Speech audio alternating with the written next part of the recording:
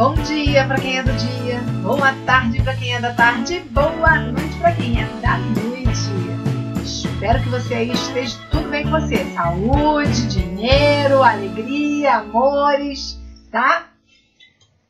Vamos ao que interessa. Natal, né, gente? Aí tem sempre aquelas reuniões na casa dos familiares e a gente está sempre querendo levar alguma coisa, né? Aí o que acontece? A gente pega um, um, um é que o um nome, gente? Um pano de prato, embrulha aquele pirex com aquilo que a gente levou e chega lá com aquela coisa horrorosa, né? Ah, horrível! Muito feio, gente! Pelo amor de Deus, eu já fiz muito isso. Se não, bota dentro de um saco plástico. Nossa! Ah! Coisa horrorosa! Então vamos lá, vamos fazer um porta-travessa para vocês levarem e chegarem lá tudo bonitinho, tudo lindinho, né? Terem uma apresentação bacana, tá? Então, eu fiz essa aqui, ó. O que vocês acharam? Ó. Tá? Ela é bem grande, tá? Cabe pirex, ó. Deixa eu mostrar pra vocês. Desse tamanho assim, tá? Como menores ou mais largos até, tá? Por quê? Porque desse aqui você pode é, levar vários tamanhos do que você fazer um para um tamanho certo, né? Você tem várias utilidades para ele. Então, Pode ser esse aqui. Esse aqui, ó, esse Pirex tem, tem 30, 35. 35 de comprimento, tá? A largura dele é pouco influencia, tem 20, tá? Então, dentro desses 35 aqui, ou até um pouco maior, você pode levar um Pirex sem problema nenhum. E menores que esse. Esse é retangular. Você pode, porque aqui tá feito com um quadrado de mais ou menos 30 por 30. Entendeu? O fundo aqui, ó. Esse fundo aqui, ó esse fundo aqui é mais ou menos 30 por 30. Gente, não se incomoda com essa lista que vocês estão vendo aqui, não, que isso aqui é a canetinha que apaga, é só passar o ferro que apaga, tá? Porque eu tive que achar o centro aqui para colocar, né, as bandazinhas aqui, tudo direitinho aqui. Então, tive que fazer essa marcação aqui para poder achar o miolinho aqui, tá? Mas é só passar o ferrinho que apaga, tá? E aqui eu fiz, ó, de colher de pau. Tá na cabeça do marido. Minha boa ideia. Ai, dói. Né? Colher de pau vocês podem fazer com outro tipo de madeira que vocês queiram, tá? Colher de pau, vocês sabem, vem de qualquer loja. E a madeirinha, de repente em serralheria, né? Loja de, de madeira, deve ter, tá? Umas madeirinhas assim, rolicinhas assim. Ou bambu, tem bambu também, tá? E aqui para fechar, gente, ó, eu botei tic-tac, tá? Mas você pode simplesmente passar uma costura. Nada impede, tá? Ou você bota o tic-tac ou você passa uma costura aqui, sem problema nenhum. E para fechar, gente, eu também coloquei aqui, ó, tic-tac, tá? Eu coloquei tic-tac aqui para poder, para poder fechar, tá? Fiz vários tamanhos, né? Porque dependendo do tamanho, você vai diminuindo, tá? Então, eu coloquei três posições de tic-tac, baseado em três tamanhos de, de, de pirex que eu tenho aqui. Você também pode escolher, para não ter que colocar o tic-tac, você coloca o velcro, mais fácil. Você bota um velcro bem grande, que você vai ter qualquer tamanho de, de, de travessa, tá? Isso aí é lei do preguiçoso. Quem é da lei do preguiçoso, bota velcro, tá? Quem não é da lei do preguiçoso, bota tic-tac, tá bom? Então vamos à metragem. Gente, metragem é retângulo, tá? É um retângulo que tem aqui de 1 metro por 30 de largura. São quatro retângulos. Deixa eu tirar esse aqui. Nós vamos fazer assim, ó quatro retângulos que você vai precisar, tá? Sendo que dois retângulos é a parte de fora, que é o tecido principal, e dois é a parte de dentro, tá? Então, eu vou fazer com o mesmo tecido que eu fiz ali, tá? Por quê? Porque eu fiz um Mzinho, sabe, gente? Na hora de cortar. Não espalhem para ninguém. Vou contar só para você, hein? Quando eu fui fazer, vou mostrar essa parte aqui, ó, caiu, pau caiu no chão. Quando eu fui fazer essa parte aqui, sabe? Eu, em vez de fazer essa parte aqui e depois fazer no mesmo tecido a outra parte, eu fiz essa parte aqui nessa parte aqui. Aí ficou errado. Acontece, gente. Errar acontece. Aí o que, que aconteceu? Ó? Eu fiquei com uma parte já cortada, ó. Aí, para não desperdiçar o tecido, o que, que eu vou fazer? Eu vou fazer outro, né? Que eu não vou desperdiçar o tecido. Então, o que, que eu fiz? Eu já cortei um outro reto, aqui, um outro reto. E agora eu vou ensinar vocês como é que faz essa, essa parte aqui, ó. pra gente botar a alça, tá? Só que eu vou explicar para vocês, como não vai dar para explicar aqui no tecido, eu vou explicar a vocês numa folha de papel tá? Porque eu já fiz o Mzinho aqui. Não fica triste comigo, não. É raio humano, tá? Aí depois sim, que eu vou fazer essa outra parte aqui, essa parte aqui, aí eu vou ensinar vocês. Mas essa parte aqui eu vou ensinar vocês no papel. Aí vocês vão fazer no tecido, tá? Então, vamos lá. Para a parte de dentro, outra, outra coisa. Eu não tenho mais tecido branco, tá? Então, eu escolhi fazer em duas cores a parte de dentro. O, esse outro que eu fiz, eu fiz todo ele em branco por dentro. Então, eu vou fazer uma parte em branca, né, na cor branca, e a outra parte nesse azul aqui de poeirinha, ó. Tá? Esse azul de poeirinha aqui. Que vai ficar assim, ó, cruzado um pra cá e outro pra cá, ó. Um pra cada lado, ó. Vai ficar assim, cruzado, né? Um, um na horizontal, outro na vertical. E esses aqui são o forro. Gente, não tem problema não. Você pode botar do lado de dentro o forro que você quiser, desde que combine com o seu tecido principal, tá? Aqui, no meu caso aqui, ó, eu tenho várias cores, tá? Eu tenho azul, eu tenho rosa, eu tenho rosa mais clara, eu tenho rosa de poá, eu tenho marrom, eu tenho branca, né? Eu tenho azul claro, eu tenho várias cores. Então, eu poderia fazer o fundo dentro dessa padronagem aqui, qualquer, tá? Então, eu escolhi, tá? Para aproveitar os tecidos que eu tinha aqui, né? Eu escolhi o branco e o azul de poeirinha de azul.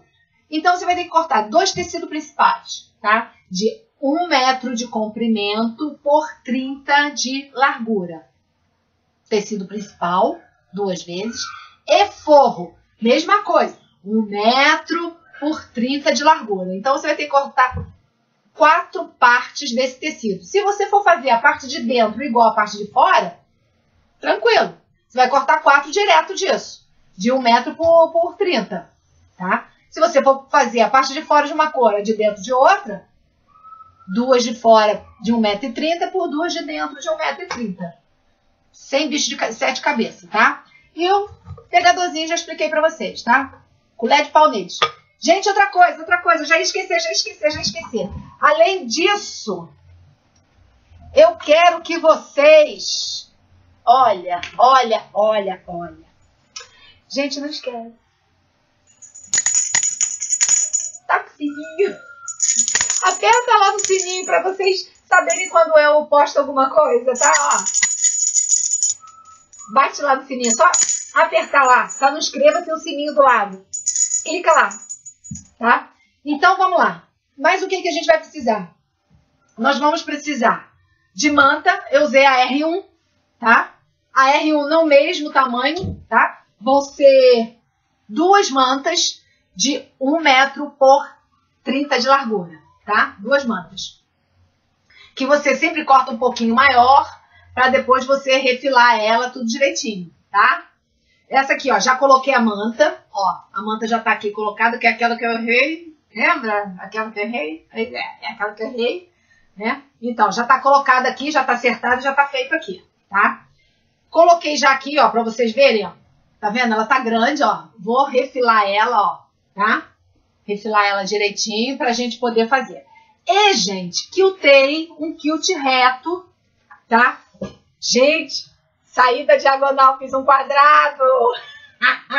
Olha. Quiltei quadrado, tá vendo? Não fiz diagonal não, quer dar muito trabalho. Aí eu fiz assim, em vez de fazer assim, tá? Ó que tem tudo quadradinho, tá? O que, que eu fiz? Gente, dobrei aqui, depois com a manta, marquei o meio, tá? Marquei o meio, puxei uma linha reta aqui no meio e daqui para lá fui dando 5 e 5. Então deu 2 para cá e 2 para lá. 2 de 5 para lá e 2 de 5 para cá, tá? Aqui no meio, fiz a mesma coisa. Dobrei ela no meio, ó. Vou dobrar ela no meio, marcar aqui o meio Marquei o meio, se de 5 em 5 para a direita, 5 em 5 para esquerda. Vai ficar um monte de quadradinho. Aí com a linha de bordar. Gente, quem não sabe fazer com a linha de bordar, tudo direitinho, eu tenho um vídeo aí mostrando como é que eu faço o... que eu não tenho ponto caseado. Então eu faço os meus acabamentos com outro ponto. Ali eu mostro qual é a linha que eu uso.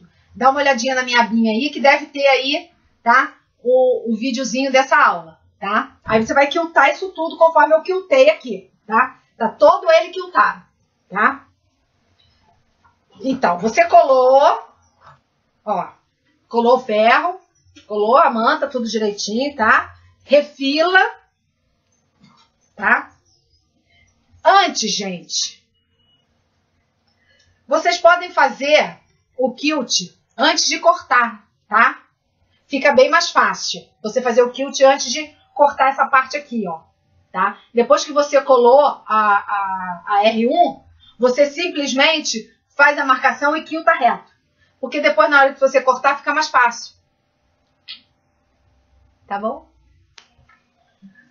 Bem, pessoal, nós vamos fazer essa parte aqui, tá? Então, o que, eu fiz? Peguei uma folha, tá? Como eu já havia feito aqui, né? Então, eu vou ter que fazer de outra forma para vocês. Então, ó, a folha tem a mesma largura aqui, ó. Ela tem 30 e aqui tem 30 também, tá? Então, o que, que nós vamos fazer? Nós vamos marcar em cada lado aqui 6 centímetros, tá?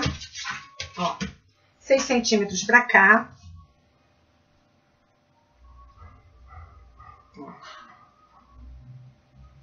E 6 centímetros pra cá. Como ela tem 30, então a metade de 30 é 15, né? Metade de 30 é 15. Então, você vai marcar os, o meio e aqui embaixo você vai marcar 15 centímetros também. Como a régua tem 15, vou marcar aqui, ó. Tá? Deixa eu mostrar para vocês verem melhor. Ó, então eu tenho 6 para cá, 6 para cá, a metade, tá? A metade e 15 aqui que, que nós vamos fazer? Ó, nós vamos fazer, ó, isso aqui vai nos dar o molde desse aqui, ó. ó. Como se eu for fazer daqui pra cá não vai ficar igual, né? Então, o que, que eu vou fazer? Eu vou dobrar a folha no meio, onde está a metade da folha, ó. Tá vendo? Dobrei a folha no meio, aqui, ó. E vou cortar na linha. Ó, um pouquinho torto aqui. Pronto. E essa metade vai sair igual a metade de lá. Ó.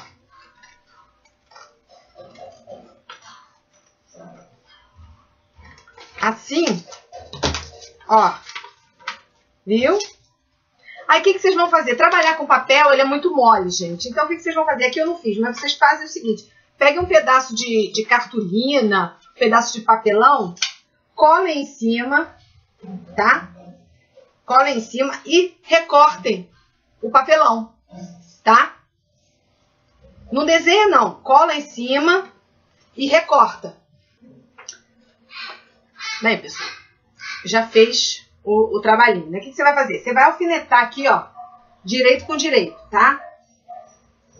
O meu lá já tá feito, então não vou, não vou mexer, vou, vou fazer isso aqui pra vocês aqui, tá? Só não vou cortar, tá?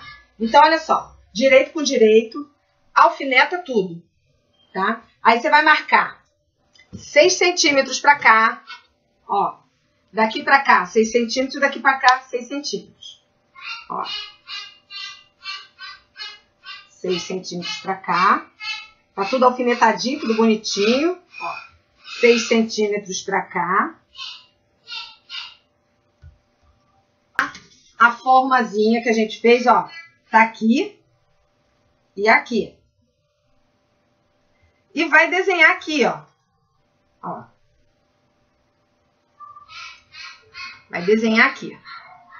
A mesma coisa que você fizer desse lado, você vai fazer do outro tá? Tá tudo fechadinho, tudo bonitinho. Aí, o que, que você vai fazer? Esse lado tá feito, aquele lado tá feito. Você vai deixar. Vai começar aqui, ó, mais ou menos. Vai vir um pezinho de máquina, fazer isso. Aqui você vai dar uma distância.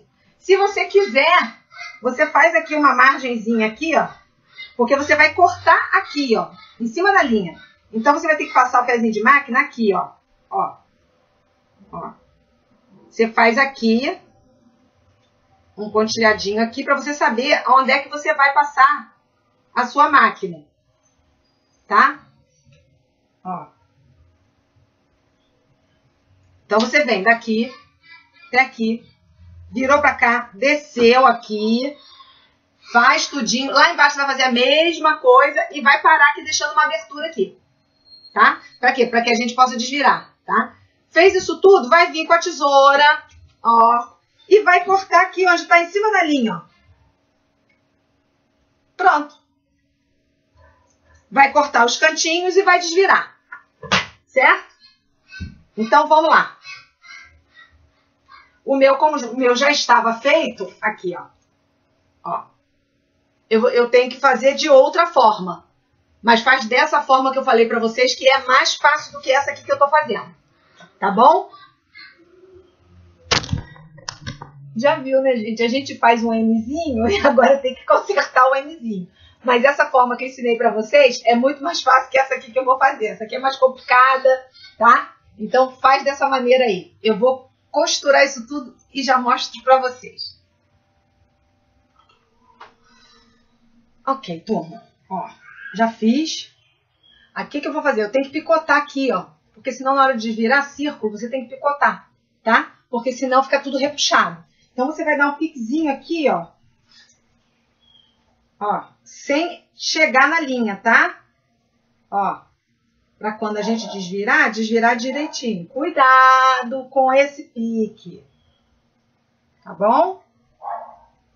E cortar os cantinhos também, tá? Ó, os biquinhos. Todos os biquinhos. Hum. Os dois lados. Pronto. Feito isso, só desvirar, gente. Nós vamos desvirar, passar o ferro, tá? E depois nós vamos montar ele direitinho. Abertura aqui, pessoal, vocês podem fechar agora ou fechar na hora que a gente for costurar ela toda aqui em volta, tá? Ó, essa abertura aqui, você pode fechá-la agora com pontinho invisível, se você quiser, tá? Ou fazer a marcaçãozinha dela no ferro aqui, prende direitinho aqui com o alfinete, tá? Bate ela, porque, tá vendo como é que ela fica? Você tem que bater ela direitinho aqui com o ferro, para ela sentar direitinho, tá? Porque quando nós formos montar, aí nós vamos passar uma costura segurando tudo, tá? Eu vou bater isso aqui no ferro e já volto. Ok, turma, olha só. Já bati o ferro, tudo direitinho. Botei aqui, ó, bati aqui a aberturinha, botei dois pregador, dois alfinetinhos, tanto de um lado quanto do outro, ó, tá? Porque quando eu passar a costura, e fecha tudo. Então, se vocês quiserem, façam um pontinho, né, escondidinho aqui, pra, pra, pra já ficar fechadinho, tá? Então, o que, que nós vamos fazer? Lembra que eu falei pra vocês que vocês tinham que marcar o tecido no meio, marcar o meio aqui, daqui fazer cinco pra cá e de cinco pra cá? Pois bem, seu tecido já tá marcado no meio aqui, como também eu falei, marca o meio aqui em cima, ó, marca o meio aqui em cima, faz 5 para lá e faz 5 para cá. Então, o meio também já está marcado, tá? Então, nós vamos pegar o meio daqui, ó, aqui, ó. O meio daqui, que é esse aqui, ó. ó. Vamos pegar esse meio aqui, junto com esse meio aqui, ó. Tá vendo? Esse aqui é nosso meio, ó.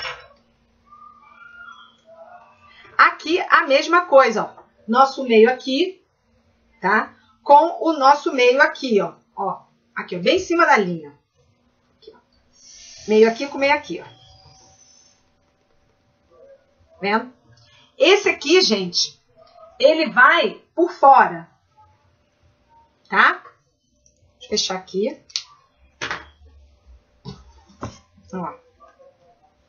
Como nós marcamos aqui, desse lado aqui, nós vamos ter que achar aqui, ó, o lado de cá, porque nós vamos ter que desvirar ele. Então, aqui não tem marcado meio nenhum, tá? Então, é muito simples. Você simplesmente enfia um alfinetinho no meio aqui, ó, que ele vai sair do lado de cá, ó. E você já sabe onde é que é o meio aqui, ó. ó. Meiozinho dele aqui, tá? Aqui é a mesma coisa. Enfia o alfinetinho aqui, onde você marcou o meio. Ó.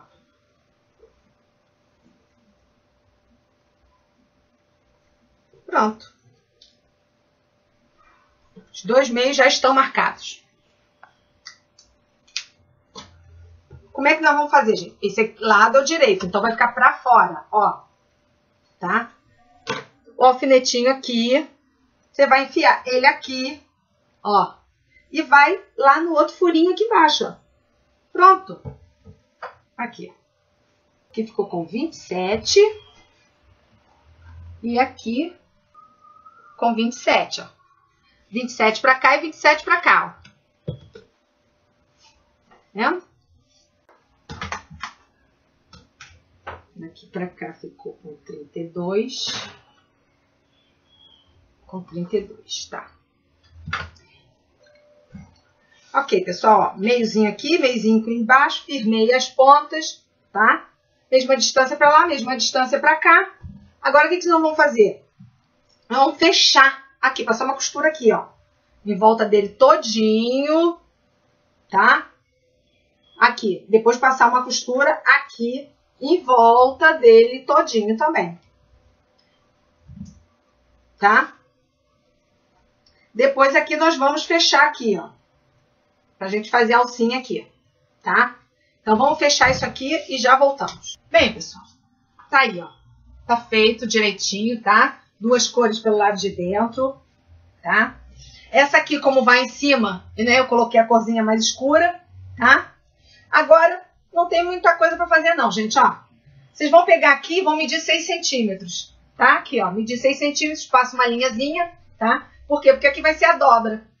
Ou vocês passam uma costura aqui, ou vocês colocam um botãozinho de tic-tac.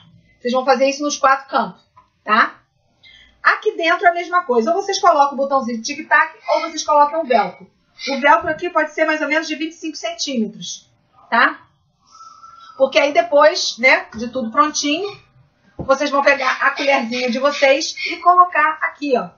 Eu coloquei, como eu falei pra vocês, o tic-tac, tá? Tanto aqui quanto aqui dentro também coloquei tic-tac, tá? Mas pode colocar o velcro, fica mais prático. Você não precisa botar vários tic-tac, porque o velcro ele vai pegar assim, uma banda assim grande, colou em cima, colou embaixo, tamanho do pirex aí, regula no velcro, tá bom?